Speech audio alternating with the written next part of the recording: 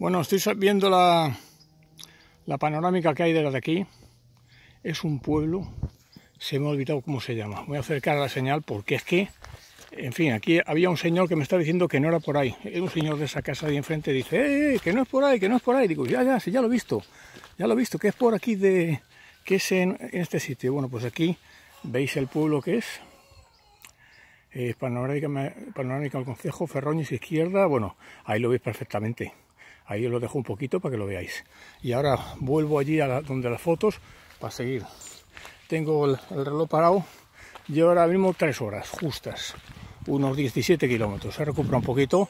Lluvia me cae intermitentemente. Antes me ha caído una y no viene aparte. Y bueno, os dejo. Continúo.